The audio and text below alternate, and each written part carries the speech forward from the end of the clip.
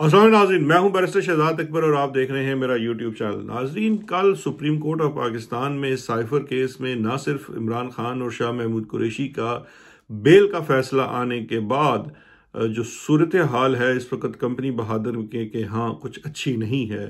जिसे कहते हैं कि मुझे पंजाबी की अगर मैं मिसाल दूँ तो, तो कहते हैं थरथली पै गई है और वो बड़े सख्त परेशान हैं और इसमें आपको पता है कि ज़्यादा परेशानी उन छोटे लेवल के हरकारों की होती है, जिनके ऊपर शायद एक दो तारे अभी नहीं लगे होते हैं।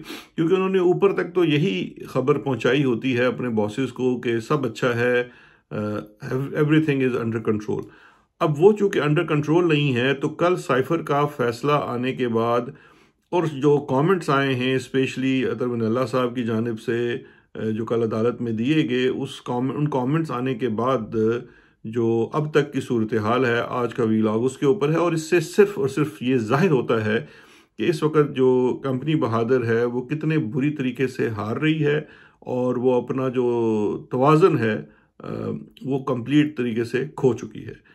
कल रात आप देखते हैं कि एक तरफ़ जब सुप्रीम कोर्ट की जानब से फैसला आता है तो फिर फौरी तौर पर पहली तो जो चीज़ की जाती है, वैसे उसका आखिरी दिन भी था वो इलेक्शन कमिश्नर की जानब से एक फैसला दिलवा दिया जाता है, जिसमें पाकिस्तान तहरीक इंसाफ से बल्ले का निशान ले लिया जाता है। लेकिन इससे भी अभी तक तस्कीन नहीं हुई थी, क्योंकि रात को मुख्तलिफ़ टी वी चैनल्स के ऊपर जो तबसरा हो रहा है, जो शोज़ हो रहे थे, उनके ऊपर बात होनी शुरू हो चुकी थी सुप्रीम कोर्ट के फैसले और उसके अंदर की जाने वाली बातों के ऊपर। और अचानक ये कंपनी बहादुर को ख्याल आया और ये बात कल सोशल मीडिया पे थी कि कर्नल नोमान साहब हैं, उन्होंने कॉल्स की मुख्तलिफ़ लोगों को और ये चैनल्स को हुक्म जारी किया कि ये जो है साइफर केस के ऊपर और जो सुप्रीम कोर्ट की प्रोसीडिंग्स है, इसके ऊपर कोई बात नहीं करेगा।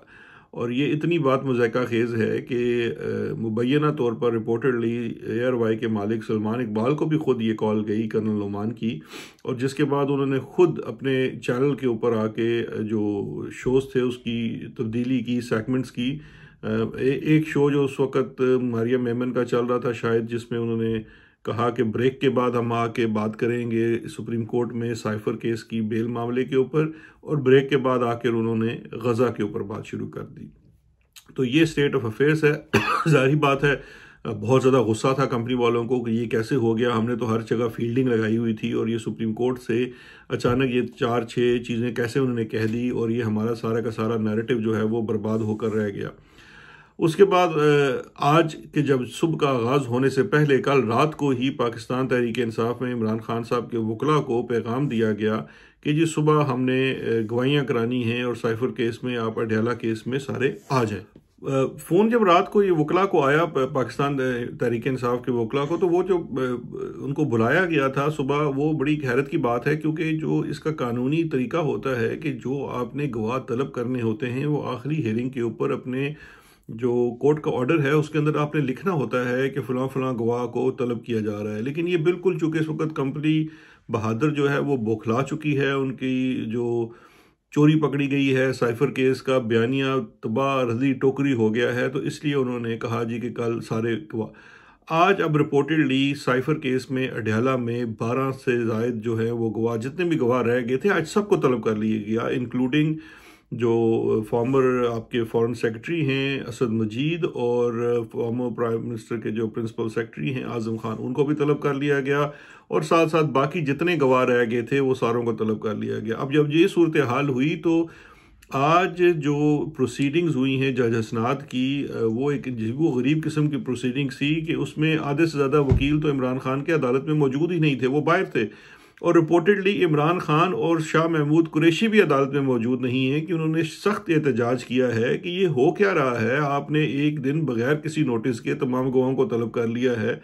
आपने अगर ये चीज़ें बुलडोज करनी हैं तो हम इसके साथ नहीं चल सकते। जब अदालत में ये सारी चीज़ें हो रही थी तो कंपनी बहादुर की हालत और तबीयत और ज़्यादा बिगड़ गई और फिर उन्होंने किया ये कि आईएसपीआर के एक ब्रिगेडियर साहब ब्रिगेडियर गजनफर जिनका नाम है वो ब्रिगेडियर गजनफर साहब ने खुद व्हाट्सएप किए तमाम रिपोर्टर्स को चैनल्स को कि ये आप रिपोर्टिंग करें और ये वाली रिपोर्ट चलाएँ। और इस रिपोर्ट के मुताबिक उन्होंने बड़ी इंटरेस्टिंग मैं आपको भी ये सुनाता हूँ। ये मैंने आज इसकी ट्वीट भी की इसकी स्क्रीन शॉट्स लेके कि इनकी जानब से ये कहा गया कि जनाब ये आ, इस वक्त साइफर केस के अंदर ये सूरत हाल और ये बड़ी इंटरेस्टिंग चीज़ पैदा होगी जी ब्रेकिंग ये हम आपको स्क्रीनशॉट दिखा भी देते हैं। ब्रेकिंग साइफर केस, गवाहों की शहादत, कलम बंद। अडयाला जेल में साइफर केस का ओपन ट्रायल जारी। यानी कि अभी तक जज असनाद का वो जो क्लोज ट्रायल वाला ऑर्डर है, वो अपनी जगह मौजूद है। लेकिन चूँकि ये आईएसपीआर के ब्रिगेडियर साहब में इनको पता नहीं है। उन्होंने इसके अंदर लिख दिया ओपन ट्रायल जबकि ये इस वक्त भी खुफिया ट्रायल है और इसकी अभी अपील जो है वो जेर समात है इस्लामाबाद हाई कोर्ट में। अच्छा वो कहते हैं ओपन ट्रायल जारी। अडियाला जेल में साइफर केस के दौरान कोर्ट रूम में मीडिया नुमाइंदा भी मौजूद। अच्छा मीडिया नुमाइंदा भी मौजूद। नुमाइंदे नहीं, नुमाइंदा, यानी कि एक वो शख्स मौजूद है, पता नहीं वो कौन सा है जिसकी कह रहे हैं ये कर साइफर केस की समात अबुल असनैद जुलकरनैन कर रहे हैं। साइफर केस के अहम गवाहों आज़म खान और असद मजीद ने अपने बयान कलम बंद करवा दिए। आगे है जी अडियाला जेल में ओपन ट्रायल जारी। साइफर केस के अहम गवाहों में आफ्ताब अहमद खान और सेक्रेटरी वजारत दाखिला भी अपने बयान कलम बंद करवा चुके ये शायद सुहेल खान थे। आ, फिर आगे जी ओपन ट्रायल जारी। साइफर केस में कर रहे हैं और ये बयान कलम बंद करवा दिए। कमरा अदालत में सबक चेयरमैन की अहलिया और बहनें भी मौजूद। शाह महमूद कुरैशी और इनके अहला खाना भी अदालत में मौजूद। अब ये ब्रिगेडियर गजनफर साहब ने जो ये काम कर दिया है। अब मेरा एक सवाल है जज अबू हसनात साहब से कि ये जज साहब ने अपने ऑर्डर में लिखा था कि कोई भी शख्स अगर इसकी रिपोर्टिंग करेगा या ये चूँकि खुफिया ट्रायल है, ये क्लोज ट्रायल है, कोई ये बंदा नहीं बता सकता कि इस केस के अंदर क्या हो रहा है। अब ये जो फरते जज्बात में कह लें या किसी चीज़ से तंग आकर ये जो ब्रिगेडियर साहब ने तमाम सहाफ़ियों को और मीडिया चैनल्स को कहा कि ये रिपोर्टिंग करें उन्होंने जो ये व्हाट्सएप भेजा है क्योंकि जज साहब आपने फरमाया था कि जो भी ये करेगा उसके ऊपर ऑफिशियल सीक्रेट एक्ट लगेगा। पूरे पाकिस्तान में किसी ने रिपोर्टिंग नहीं की? पाकिस्तान से माहिर बै, मैं बैठा हुआ हूँ मुझे जो भी इतला सच्ची झूठी जिस तरह की भी आई मैंने तो बता दिया दुनिया को जी कि क्या हो रहा है वहाँ पे। लेकिन ये एक हाजिर सर्विस ब्रिगेडियर साहब हैं या रिटायर्ड ब्रिगेडियर हैं, मैं नहीं जानता, लेकिन आईएसपीआर के अंदर हैं, उन्होंने तमाम सहाफ़ियों को ये व्हाट्सएप किए हैं। आपको इन्हें अब चार्ज करना चाहिए। आपने हुक्म दिया था कि आप ऑफिशियल सीक्रेट एक्ट के तहत चार्ज करेंगे। उस शख्स को जो इसको रिपोर्ट करेगा। अब ये रिपोर्टिंग ये व्हाट्सएप भेजे गए हैं उनकी जानब से। आप जो जिन सहाफ़ियों को या जिन चैनल्स को भेजे गए हैं, उनके फ़ोनों का मुआयना कर लें, उसका फ्रेंसिक करा लें तो आपको पता लग जाएगा कि ये बाकायदा तौर पर रिपोर्टिंग के लिए भेजा गया है। और आप ये भी देख लिए, देख लें कि आज तक मैंने खुद तीन चैनल्स के ऊपर ये रिपोर्टिंग सुनी है। आज तक जिस दिन से आपका हुक्म आया हसनात साहब किसी चैनल ने ये नहीं बताया कि आज कार्रवाई हुई भी है नहीं हुई है किसी चैनल ने ये नहीं बताया आज कौन से गवाह पेश हुए लेकिन आज के दिन ये वाला जो व्हाट्सएप मैसेज है ये तमाम टीवी चैनल्स ने चलाया भी है। इसलिए ये बात बिल्कुल दुरुस्त है जो मैं रिपोर्ट कर रहा हूँ। तो ये तो सूरत हाल है इस वक्त पाकिस्तान में कि इनकी सिचुएशन क्या है। अब लग क्या रहा है? ये हो क्यों रहा है? बात यह है कि ये जो आ, सारा इस वक्त रद्द किया गया आज सारा, वो कहते हैं गवाहों को फौरी तौर पर एक फौजी अंदाज में ला के उनको पेश किया गया और सबकी एग्जामिनेशन इन चीफ करा ली गई। पाकिस्तान तहरीक इंसाफ के लीडर्स इमरान खान और शाह महमूद कुरेशी के वकला तक को अंदर नहीं आने दिया गया। अब ये तमाम गवाह जो पेश हुए हैं, इनका क्रॉस एग्जामिन होना है। अब वो क्रॉस एग्जामिन कैसे होगा अगर वकील के अंदर नहीं आएँगे? अगर उनको ड्यू नोटिस नहीं होगा, उनको तैयारी का मौका नहीं मिलेगा मुझे जो इस वक्त ये लग रहा है, पहली बात तो ये है ये है रिटेलिएशन ये जैसे कहते हैं ना कि वो जो कंपनी बहादुर है, कल के सुप्रीम कोर्ट के बेल ऑर्डर के बाद उनकी सेहत काफ़ी ख़राब हो गई है, वो इस वक्त बहुत गुस्से में हैं और वो किसी भी सूरत अगले पाँच सात रोज़ में ये ट्रायल कंक्लूड करना चाहते हैं, क्योंकि वो इस केस में इमरान खान को अब सजा दिलवा कर रहेंगे, ये उनका फैसला है। सुप्रीम कोर्ट को चाहिए जस्टिस अतर मिनल्ला साहब को चाहिए, मंसूर शाह साहब को चाहिए और जस्टिस सरदार तारिक को चाहिए कि उन्होंने जो कल ये फैसला दिया है और उस फैसले के बाद आज जो ये हो रहा है, ये ये किस तरीके से बर्दाश्त किया जा सकता है? आपके फैसले की तो आपने जो कल अपनी ऑब्जर्वेशंस दी हैं, उसकी धजियाँ उड़ा दी गई हैं कि कल आपने फैसला दिया और आज प्रोसिक्यूशन के सारे गवाहों को लाइन हाजिर करके जिस तरह वो फायरिंग स्क्वाड के सामने खड़ा किया जाता है, उन्हें एक फायरिंग स्क्वाड के सामने खड़ा करके उनकी गवाहियाँ रिकॉर्ड कर लिए।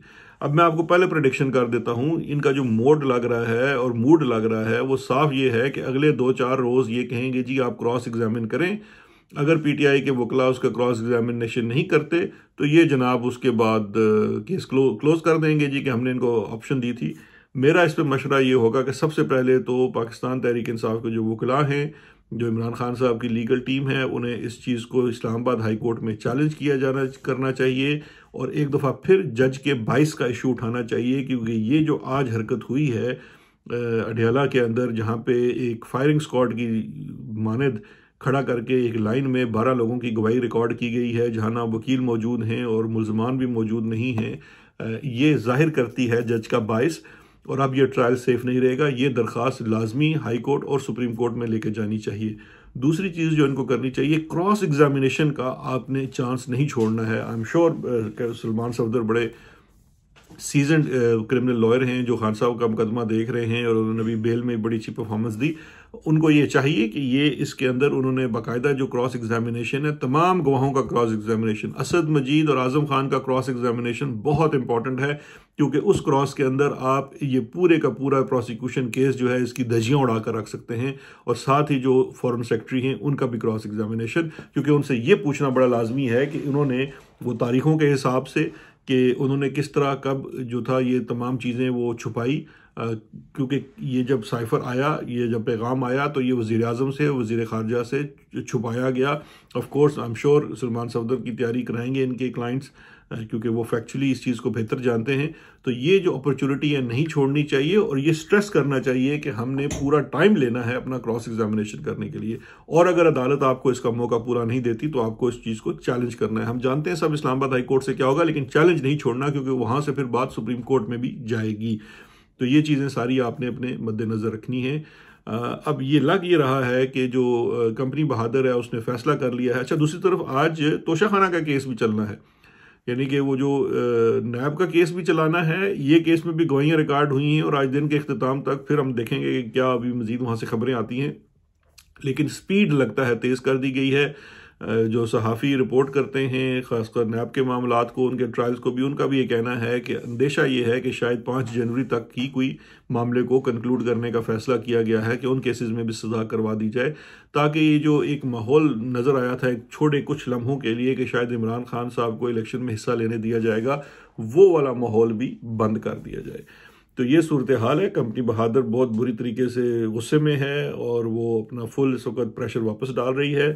आ, देखते हैं ये करके भी क्या अचीव कर पाते हैं क्योंकि इमरान खान की ना पॉपुलैरिटी ख़त्म हो रही है और ना ही आपके ख़िलाफ़ लोगों की जो जज्बात है।